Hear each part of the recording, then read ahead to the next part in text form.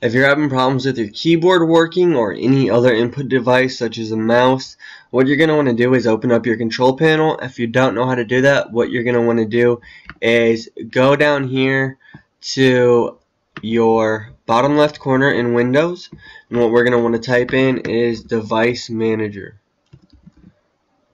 And that'll pop up. And what we'll get is this window right here so once you get this window right here, you're in the right place. What we're going to be looking for is keyboards right here in the middle. So yours might say something different, but this is the basic keyboard for your laptop.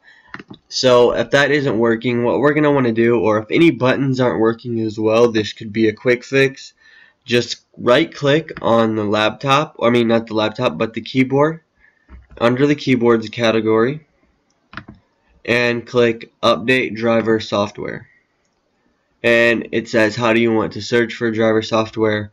If you have a you know how to get drivers off of uh, a manufacturer's website go ahead and do that. But if you don't just click search automatically for updated driver software and let it run and it'll do the same thing and it'll tell you if it's out of date or up to date. So this says that I have my driver installed and it's up to date so everything should be working properly. And just to make sure we're going to click right click on it again and click scan for hardware changes. And this will just make sure any changes that were made or could have been made are up to date. We're going to right click it again click properties go to driver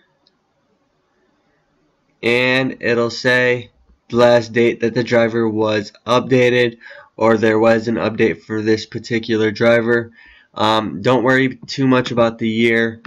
It's just a quick uh, denotation of what's going on and how long your driver's updated. Usually more recent things like um, Bluetooth and stuff like that will have a more recent date for a driver update. But as of the keyboard, they're pretty standard. So 2006 is the last driver date. So click OK and that's all you have to do.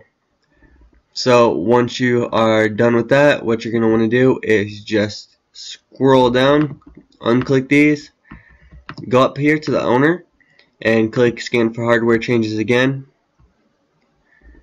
and let that run. Once that's done, just exit out and you're all done. Thank you guys for watching. Please check out the rest of my videos and have a good day.